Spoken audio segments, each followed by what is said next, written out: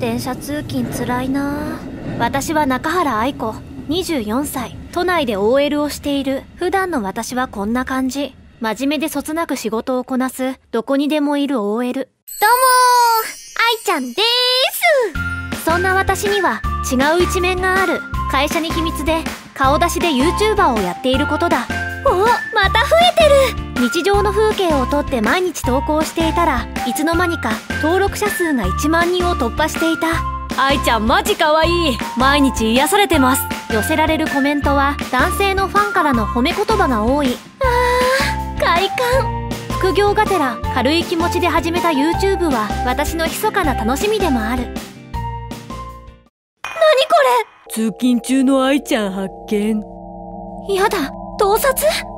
全く気づかなかったというかどうやって私って分かったんだろう？愛ちゃんがここの会社に入っていった。おそらく勤務先だと思われ。嘘会社まで？その後も悪質なファンによる盗撮や私を特定するような投稿が相次いだ。やばいネットでどんどん私の個人情報がでもなんで？あ私は動画の中で自分の通勤電車の路線だったり会社の周辺情報をそれとなく話していたのを思い出した。ってことはこいつらあの少ない情報から私の個人情報を特定したってこと？怖い、怖いよ。私は知らず知らずのうちに自分が誰かに見られていること、自分の個人情報がネットに拡散されていることに恐怖を感じた。それから私はしばらく動画投稿を休むことにした。SNS も自分のことが上げられているのを見るのが嫌で見ないようにしていた。はあ、今日も疲れたえ？私は久々に SNS を開いてみて驚いた。ついに、愛ちゃんの家特定したった。嘘でしょ？これ私の住んでるマンションじゃん。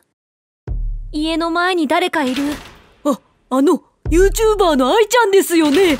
僕ファンなんです。握手してください。何あの人？家の前でずっと私を待っていたってこと？特定されてしまった私の家には、毎日のようにファンの男性が訪ねてくるようになった。愛ちゃんいるんでしょ？一目でいいから顔見せてよ。ど、どなたですか？家にまで来られたら困ります。帰ってください。なんだよ顔くらい見せてくれたっていいだろ？出てくるまでここを離れないからな。怖くなった私はすぐに警察を呼んだ。ファンだと名乗るその男はそのまま連行されていった。犯人のスマホから盗撮したと思われるあなたの写真や動画がたくさん見つかりました。それで大変申し上げにくいのですが。犯人はあなたの部屋に無断で侵入していたようです。え？そんな？私の部屋にあの男が出入りしていたっていうの？その後このことがきっかけで会社にも副業をしていたことがバレてしまい副業禁止を謳っていた私の会社は私を解雇した。ネットとは怖いものだ。